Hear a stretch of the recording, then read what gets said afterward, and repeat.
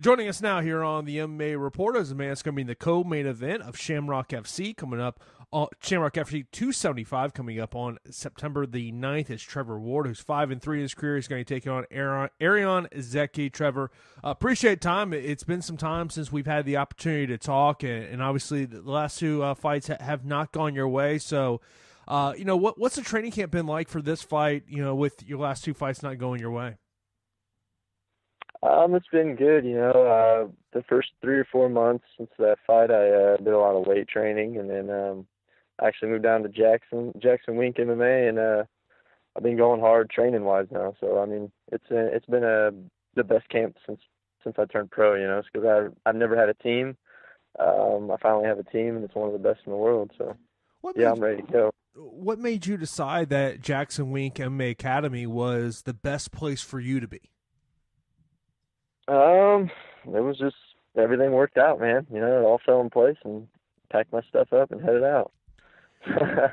was so, it, was it something that faith, was it something your management had suggested to you, or maybe did you have a mutual no, connection that kind of put it together? Uh, I didn't have any connections whatsoever, man. I literally after that last fight, whenever I was uh, my body failed on me. You know, I was cramping up and wasn't myself. I knew I had to get a team around me. I knew I had to get a a coach for once, you know. So packed my stuff up and took off.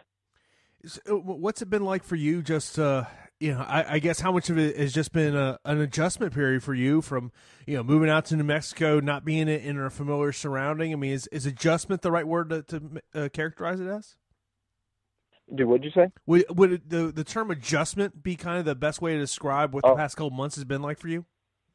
It has been a little adjustment, especially at the beginning because I was living in the dorm rooms. But um no, man, they're they're it's like a family down here. You know, they're all close together. Everyone gets together, and it's uh it's a good time. You know, I really uh, I really enjoy it. I I thought I would miss my family and friends a lot more, but um but I made some here. You know, so it's uh it's it was an adjustment at first, but now it feels like home.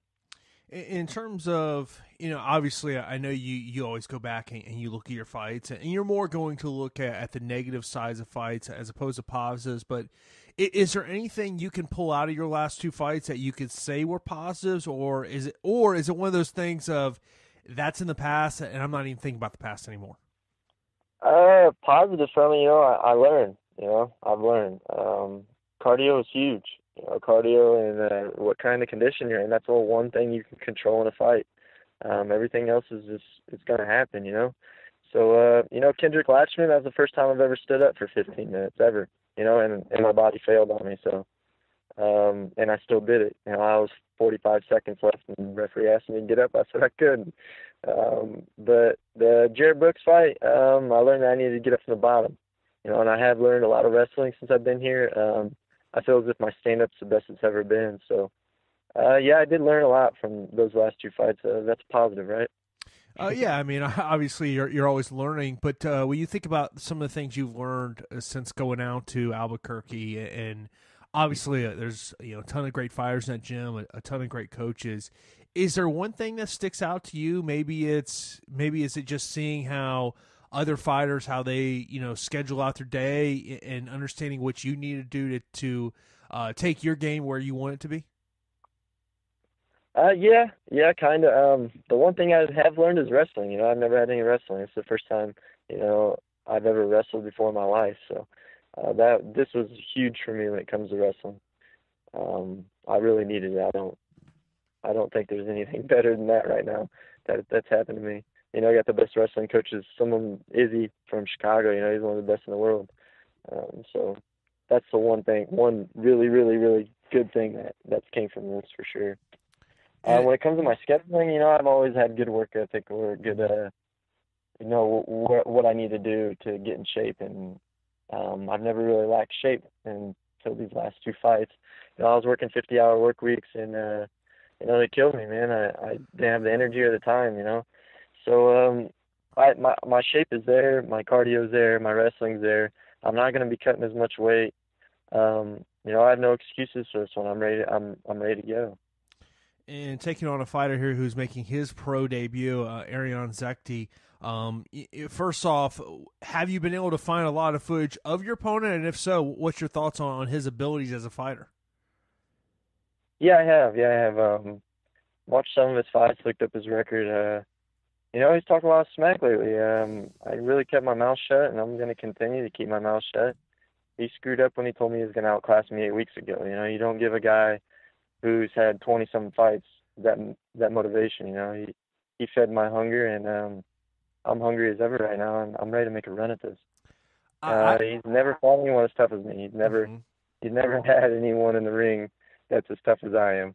I've seen his record was he knocked out Henry Hoffman. No offense to Henry Hoffman, but he's my training partner for about two years, and he has nothing for me. So, I mean, Contavious was he, he's he's good, but he's really one dimensional. You know, I am not a one dimensional fighter, especially anymore. You know, my game is all around. Everywhere the fight goes, I'm gonna have something for him. Yeah, when I, when I talk to Ariana, I, I think confidence is, is, something that he definitely doesn't lack there, and and uh, you know obviously he, he had some trash talking thing there. When you, when you have a an opponent um, that you know says you know says things to you, is it just is it just simply of like game on? You just you thank you for the bulletin board material. kind of. I mean, I I'm not a trash talker. You know, I, I I'm one of those guys that show respect to receive respect. So um, you know, uh, it it doesn't like I've had people talk crap to me way worse than he has.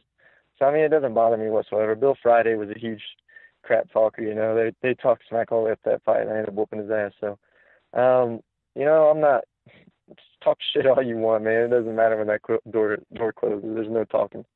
Do you almost kind of uh, find that to be of it's he's putting all the pressure on himself because of that, and it, it just it, it can I mean, potentially lead to a mistake.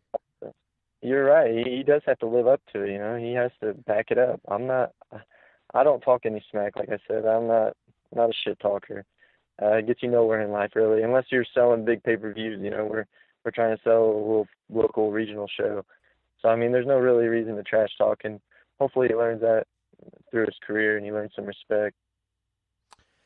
And obviously, uh, trying to get back on the winning side of the fight here. Do you do you have a chip on your shoulder right now? I mean, is that a way you would characterize kind of how you you're feeling going into this fight? I did at first, you know, after these last two losses, but I mean, look at my losses, you know. I mean, Ishwatari is the world champion. I fought for a world title already. I've proved myself. I was ranked number one in the world as an amateur. I have no chip on my shoulder. I don't regret anything. Um, you know, I'm I'm here. You know, I'm alive, and and healthy and I'm living my dream and not too many people get to do that. And I've already proved myself to everyone. You know, I've made it to the top of the top of the list already. So whatever happens now, I'm, I fight for fun. You know, I fight for fun. I love it. I enjoy it, and I think it makes the world a better place. That's the one thing I fight for, and that's the only reason why I fight for. I don't fight to go make people bloody and everything. No, I fight because it, it's made me the person I am today, and I, I love the person I am today, and I love how it makes other people I, it inspires people. Would know, you would you yes. would you say you're having more fun now because of the changes you have made? Definitely, definitely. You know, um, man, it's it's a dream come true. You know, it doesn't matter what happens in any fights from here on out. It doesn't. You know, I, I'm gonna wake up and I'm 80 years old and live with no regrets. You know, that's that that was my main concern, and that's why I packed my stuff up and came out here.